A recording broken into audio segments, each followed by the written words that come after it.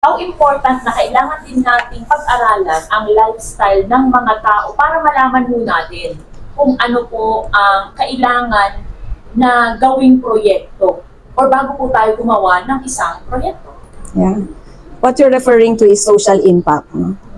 Ano ang impact sa tao ng proyekto na gagawin ng gobyerno?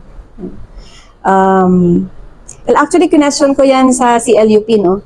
Yung comprehensive land use plans natin. Kinestyon ko yan kay Ma'am Donna Tabangin na ang na-consider nila is economic, environmental, legal, political, yung mga ganon. Pero asan yung social impact, sabi ko? Did you study the social impact of this CLUP that you're proposing? Inamin naman niya na hindi daw. Kasi, bakit? Nasabi ko yon Okay. Ah, example na lang, ah, congestion fee na yan. Okay. Economic impact sa city, malaki. Actually, I don't think may mala- malaki pa yun eh. Kasi the 250 congestion fee na yan is mapupunta lang yun sa private sector na naman. Kasi 90% will go to them dahil pambayad daw sa mga software na gagawin nila tsaka yung mga CCTV, kung ano yung mga ilalagay dyan na gadgets para ma-monitor yung mga pagpasok at labas ng mga sasakyan sa Central Business District. Pati sa mga parking building, no? Naka, ah, magkakaroon ng software na pag swipe mo or pag search mo sa cellphone mo, malalaman mo kaagad kung saan yung may bakanteng parking. Oh, ganda nga yun. Pero lahat to, gagawin ng private sector. Kaya yung ibabayad natin na 90% sa congestion fee, mapupunta doon sa kanila. Pero sila ba ang nagpatayo ng road? Hindi. Sila ba ang nagpatayo ng building? Hindi. Mangongolekta lang sila dahil dyan sa software at hardware ng mga ah, gagawin nila. So economically, I don't think pasado. 'Di ba? Ganon ganon tayo mag ano. Socially,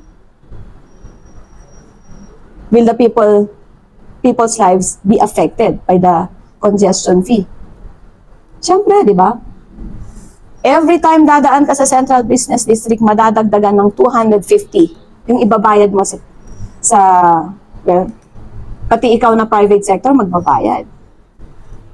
Iikot ka na lang, di ba? So ngayon, tinatransfer mo na ngayon yung traffic from sa Central Business District sa circumferential.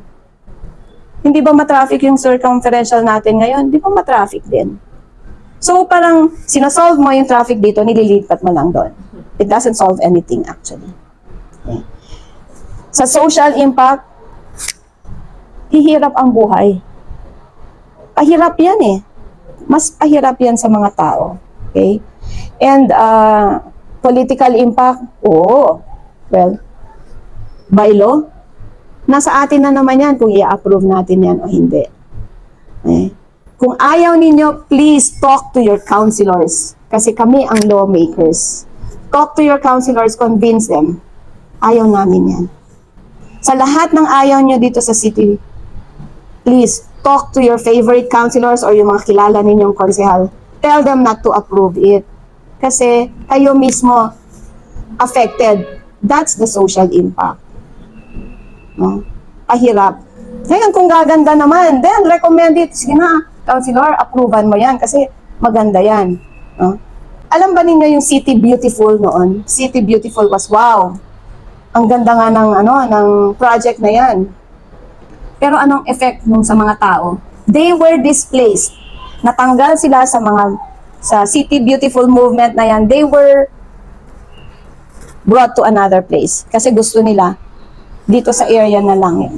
Mahal, maganda. 'Di ba? Parang mali eh, 'di ba?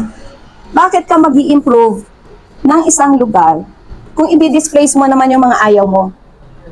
The good social impact, kung gusto mo talagang pag-aralan yan, is everybody should be happy. Everybody should enjoy kung ano yung development na ginagawa mo na yan. Hindi yung some people will be displaced, some people will have to relocate dahil nga lang gusto mong mapaganda ang isang lugar. Ah. Kaya sana pag-aralan natin yung social impact, impact natin sa mga tao Hindi lang sa mga turista, pero sa mga nakatira sa Baguio. Let's consider them. Okay? That's good governance.